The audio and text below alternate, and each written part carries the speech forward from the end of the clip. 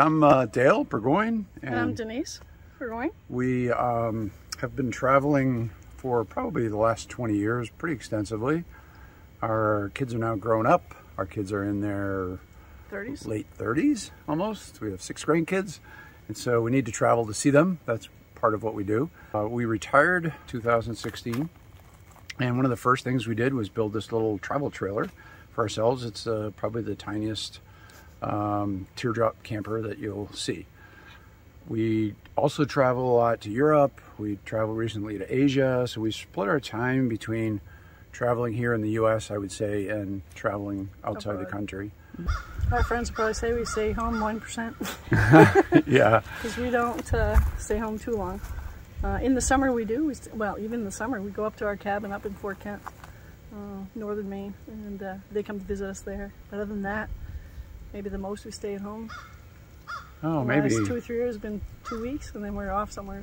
Yeah, kind of two weeks at a time. But so maybe twenty percent of our time is spent at home in southern Maine, and the rest of the time is either spent at our cabin or just traveling. traveling. Like this. We like to do things that keep us pretty active. Uh, we take our bicycles with us. Uh, we have our paddle boards that travel with us. And we typically are looking for a place where we can do some paddling, where it's warm, and or we can do some cycling. This is our teardrop camper. We pull it behind our Mini Cooper. Uh, we already had the car before, so when we saw this available as a kit, we decided it'd be a good idea to build one because that's probably all we could pull with the Mini Cooper. Um, we have a queen size bed in here, uh, so there's lots of room to stretch out. This is where we sleep. And uh, you'll see this area here is where our legs go. You can't see it very well because it's a little dark and our kitchen you'll see in a minute is right over this. Um, so when we're in here uh, this gives you an idea of what we see. We have a television here for of course watching YouTube channels and uh, just for entertainment on rainy days. Ventilation you see these two fans up here provide really good uh, air on us when we're sleeping. There's no air conditioner but this uh, it's called a fantastic fan and a lot of uh, large motorhomes have these. Ours is the same size as for a large motorhome, so uh, we get a lot of air movement in here, which uh, makes it super comfortable, even in quite uh, quite warm weather. So yeah, so it comes in through these air vents over here, or these doors. We have the doors cracked open. Oh, that's an air vent. That's a mushroom vent. Yep. Oh, cool. So you've got two of those vents for the air to come in for the fan up there. And there's two back here, so we have air coming in near our feet and near our heads. Okay. Um, you can just feel a nice slight breeze in there all the time for that reason. Very nice. Okay. This is our, uh, our kitchen. Uh, this is where we prepare all our food. Um, some of this is dedicated to um, pots and pans that we use for cooking.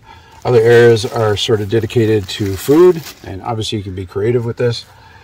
Um, our spices, our more food over in this area. This is sort of like where we keep our oatmeal and our flour. If we're going to make that kind of thing. Um, and then again, food storage over here, way over on the left. Uh, this area has our, our plates, and uh, because of the way this is slotted, keeps them from exiting while we're traveling down the road. The rest of this are just containers that we came up with that fitted in those spots fairly well. And it's mostly uh, things for washing the dishes or cups, utensils, that sort of thing. This is our little entertainment nook. So we have a little Bose speaker in here and that uh, gives us some entertainment when we're outside. When we're inside, we actually take that and plug it into our television so that we get a little bit more uh, lifelike sound than we would otherwise. And I see you've got lights under here. Does this light it up enough so that you could cook here at night? It does, actually. It's quite bright. Uh -huh. I uh-huh. consider putting a dimmer on it for that reason. But uh, yeah, all of this is run by a battery that is stored here. So it's nothing more than what we call a deep cycle 12 volt battery. Mm -hmm.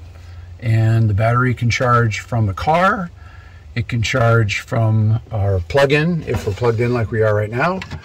Uh, or we have the option to add solar panels and to have it charge from those solar panels as well.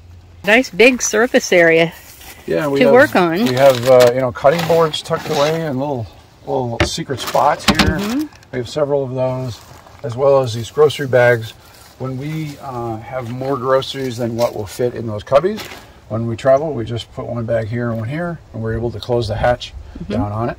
Um, do you want to see how the hatch closes? Yeah, absolutely. Okay. So, yeah. This one. And these stoves are great. I mean, they light the first time. You know this because you have one. What brand is that one? This one is just tethered by these blocks. I W A T A N I. Yes. So that stays there when we're traveling. We have some bungee cords that go through these loops that hold the stove down. Actually, we put this on top of it as well, so it holds that pan and keeps that from bouncing around. Nice. So here's the here's the cover. Hopefully, we have everything out of the way. And we just lock that down, push these little snaps down, and now we're ready to travel. The camper is um, the kit is sold by CLC Boats. It stands for Chesapeake Lightcraft.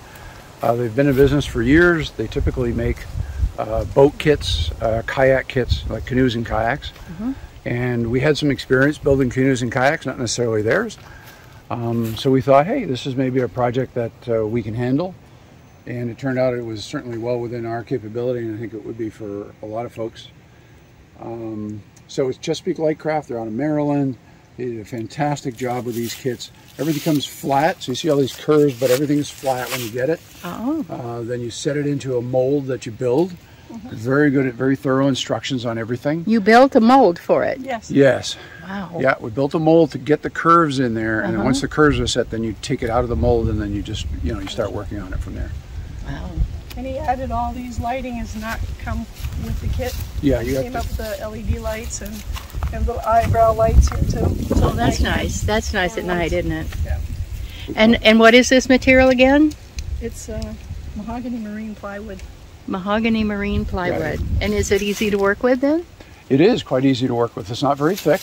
It's only about um, maybe a 3 16ths of an inch thick. However, it gets covered in fiberglass, and this is where all the work happens. It gets completely covered in fiberglass, encased on both sides, even on the interior. So it's completely waterproof, weatherproof. And the fiberglass is what really gives it its strength. Where if it was just wood, you could easily break it, even with what I just did. It would be quite fragile. And it just comes out so pretty. Um, and how about this trailer? Did that come with the kit, or you had to do that separate? Yeah, so that's interesting. You can do the trailers, uh, you can do any trailer that you want. And there are some out there that people buy a really economical trailer, like from Harbor Freight, uh, and build one of those. But the company that makes the kit also came out with a kit trailer, working with another tra- with a trailer company. So they don't sell it directly. But this trailer is specifically sized and made to fit this camper. Um, and it comes UPS in a couple of fairly small boxes, and it's all bolted together. In fact, my wife Denise, I was traveling for a few days. When I came home, she had it all put together because it came in while I was gone. So she assembled the whole trailer herself in maybe, ha- Except for the tongue. maybe half a day to a day. A day. A day? Wow. Yeah. Yeah. And I bet that even the trailer is probably extremely light because the overall package is how much? It is. It might. It might be 500 pounds at most with everything that we have on it right now. Wow. With everything in it. Did you catch that? That's really something. This here, uh, without the mattress and all of that, that's the, the The shell? the shell itself. Denise and I could easily pick it up ourselves, the two of us. So it was maybe 150 to 200 pounds at most for just the shell. So then you plop it on the trailer. The trailer is all aluminum, so no corrosion, and um, and it's light also. Um, it comes with a wiring kit for all of the lights. So we have lights back here. We have side lights. We have one that I added up here. Um, and the reason is the only lights we had prior to this were the brake lights that are way down here. down Oh, yeah. The brake lights are. Yeah. yeah. And Hard. when you're behind this and those light up, yes, you can see it, but really not enough. I Not, wouldn't as that. impressive as having that up there. So we added this light right here, and it even works with our blinkers where it, you know, it goes right or left, showing you which way you're turning. But when I brake or when we brake, those lights get really bright. yeah. I s these are interesting uh, seams here. Yeah.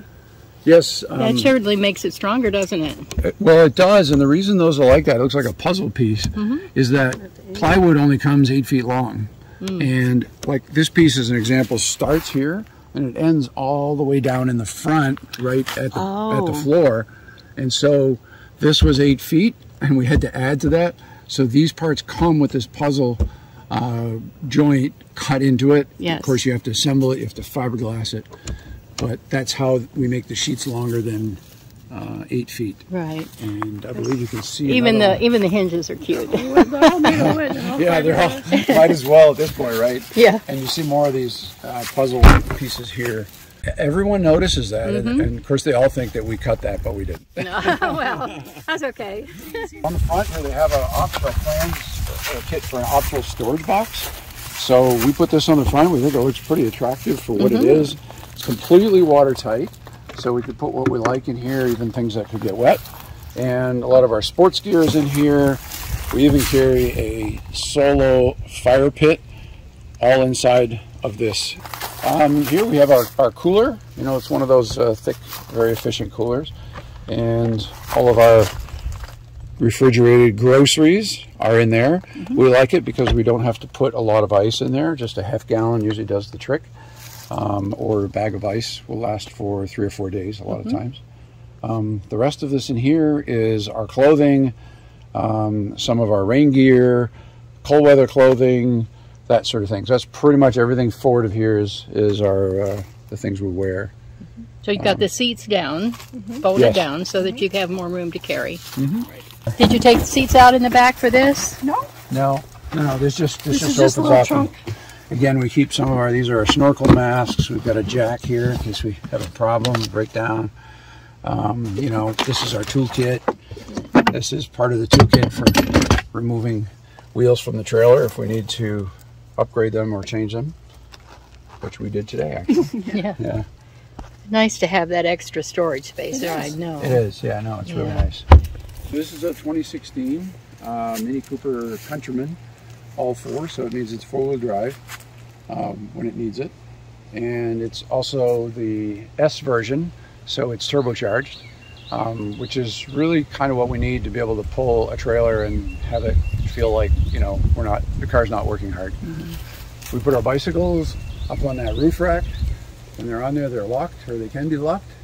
Yes. And is it, it says mini. Does that mean it's made for this car? It is, yep. This this section here is just the the standard roof rack that you can buy for a Mini like this, and then these are also put out by Mini, but made. Of course, BMW is the owner of Mini Cooper now, hmm. and so these are made specifically. I think they're made by Thule. Oh. Specifically for this vehicle. for this car. Yes. Very Yeah. nice. So this is that fireplace you referred to. Yes, that is the Solo Bonfire. It's what it's called. It's sort of their middle size um, fire pit.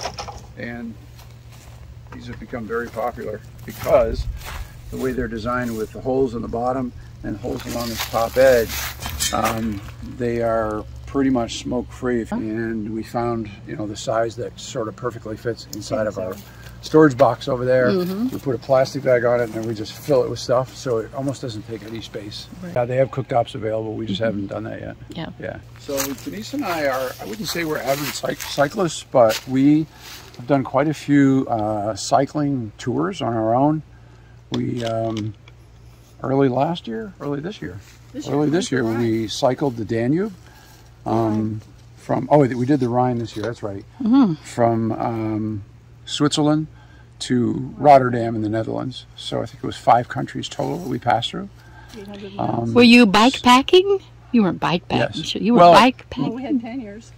Yeah, we had panniers, but we were staying in in hostel, no, either hostels or nice inns. Oh. You know, so I thought just teenagers did that when they skipped a year of college or something. I know. Well, we're a little late. That's all. we're just a little late. So we love to cycle, and so we always take our bikes with us. We're always looking for great places to ride, and then we really love the water.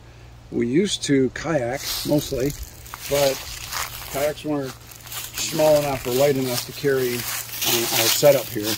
So we bought these two paddle boards. Mm-hmm. We built these two paddles. Great, Great Lakes Fingers paddleboards.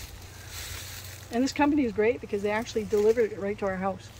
It's just a unique marketing strategy for them, but it worked for us because we remain kind of far away from everything, and shipping for paddleboards is incredible, very high, and that's their way of making that work. Well, So, they get rid of the middleman and- and the cost is less to us. Mhm. Uh, if you had to buy this in the store, you'd be paying probably twice as much as what we paid for them. Mm-hmm. And they come right to your house. Mm. They set Yeah. up with the fins. They put the.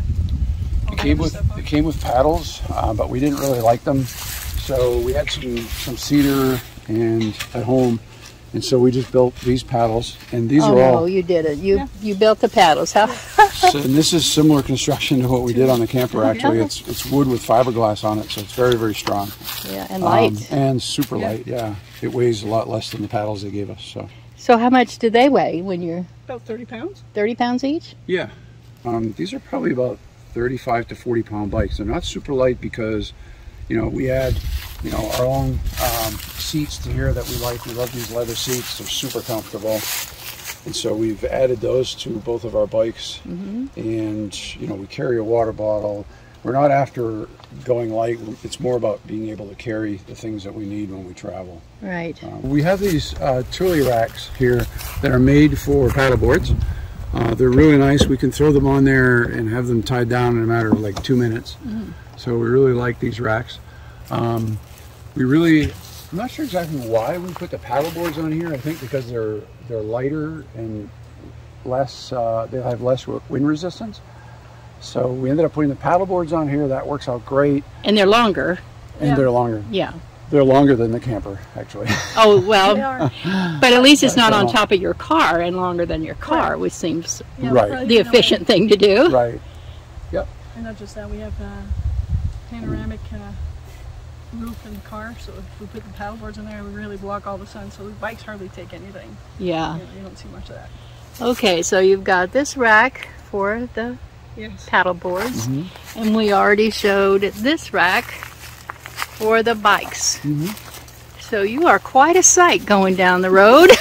It is, Yeah, yeah. especially when we get out, they're surprised too. People get out and they have all these exercise, you know, biking and boarding. They're like, we always say, try and keep up with us if you can. yeah, I'll And say. it's and it's a lot. It's a lot of fun for us. You know, we're out here to be in the outdoors as much as we can, and this really does it for us. You know, we looked at um, campers, even smaller campers, and we just weren't ready for that. So, this is sort of our in between. Maybe someday we'll uh, shift over, but for now, this works. Well, I would say we couldn't imagine not doing this. No, and the kids we've uh, brought, well, Dell has brought the grandkids, uh, or both of us have brought the grandkids camping in this little camper. But they're getting bigger, so we're actually thinking of maybe in a couple of years when they get a little older, getting an Airstream that we can carry maybe three kids with us uh, and hold that until they get to be teenagers and don't want to be with their grandparents anymore. But Right. until then, uh, we're going to use this little teardrop camper, and uh, I don't see us stopping. Yeah, no, we can't? uh, we were joking about it on the way down. We said, "Hey, wouldn't it be awesome if we could still do this? We're 62 now. Wouldn't it be awesome if we could do this at 72 and then at 82? You know?" And so that's our goal. That's our goal is to, Yeah. So we'll keep doing it until we can't. yeah, oh for sure.